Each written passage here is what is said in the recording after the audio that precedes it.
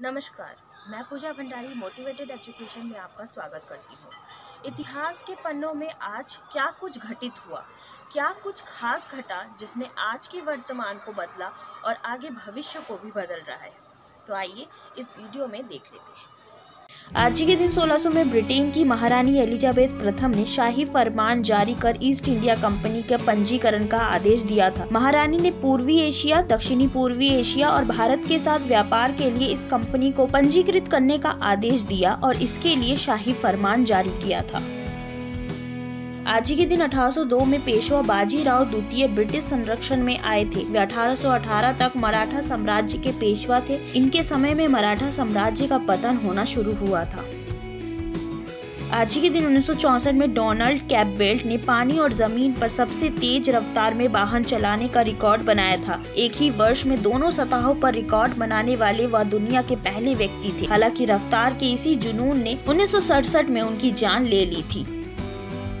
आज के दिन 2004 में ताइपे, ताइवान में 508 मीटर ऊँची इमारत का उद्घाटन किया गया था। उस समय इसको दुनिया की सबसे ऊँची इमारत होने का दावा किया गया था। ताइपे, ताइवान द्वीप के सबसे बड़े मेट्रोपॉलिटन क्षेत्र का केंद्रीय शहर है। आज के दिन अमेरिका में सत्रह सौ इक्यासी में पहला bank bank of north America में खुला था। बैंक ऑफ़ नॉर्थ अमेरिका का एक निजी राष्ट्रीय बैंक था, जो संयुक्त राज्य अमेरिका के पहले वास्तविक केंद्रीय बैंकों के रूप में कार्य करता था। आज ही के दिन सन 1999 में इंडियन एयरलाइंस के विमान 814 का अपहरण कर अफ़गानिस्तान के कंधार हवाई अड्डे पर ले जाया गया था। सात दिन के बाद 190 लोगों की सुरक्षित रिहाई के साथ यह बंधक संकट टला था।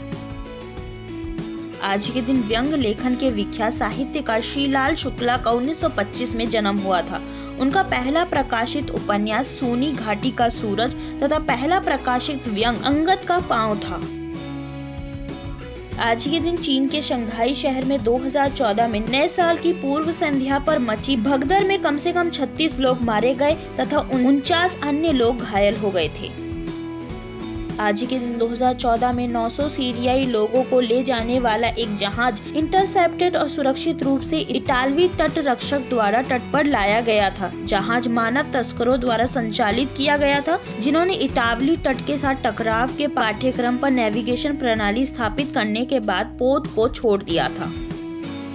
आज के दिन 2014 में इटावली राष्ट्रपति जियोर्जियो नेपोलिटानो ने अपने इस्तीफे की घोषणा की थी। नवासी वर्षीय राष्ट्रपति ने 2013 में पूर्ण मिलन के बाद संकेत दिया था कि वो सात साल के कार्यकाल के अंत से पहले सेवानिवृत्त हो जाएँगे। आज के दिन म्यांमार की सैन्य सरकार ने 2007 में सात विपक्षी नेताओं को गिरफ़्तार किया था। आज के दिन 1944 में द्वितीय विश्व युद्ध में हंगरी ने जर्मनी के खिलाफ युद्ध की थी। आज के दिन सुरक्षा कारणों से संयुक्त राज्य अमेरिका ने 2005 में मलेशिया में अपने दूतावास को अनिश्चित काल के लिए बंद कर दिया था। आज के दिन 1744 में अंग्रेज़ी खगोल विज्ञानी जेम्स पेडली ने पृथ्वी की नाटकीय गति की खोज की थी, जिन्होंने 1742 से एस्ट्रोनॉमर रॉयल के रूप में काम किया था। उन्होंने खगोल विज्ञान में दो मौलिक खोजों, प्रकाश के उन्मूलन और पृथ्वी के कक्ष के पोषण के लिए जाना जाता है। आज ही के दिन अठारह सौ सत्ताईस में ब्रिटेन के आविष्कार जॉन वॉकर ने माचिस का आविष्कार किया था। लेकिन इनके द्वारा बनाई गई माचिस को इस्तेमाल करने में काफ़ी ज़्यादा मेहनत लगती थी और यह काफ़ी कठिन भी था और इस माचिस को इस्तेमाल करने में भी काफ़ी खतरा था। यह माचिस किसी भी खुरदुरी जगह या लकड़ी पर रगड़ते ही आग पकड़ लेती थी।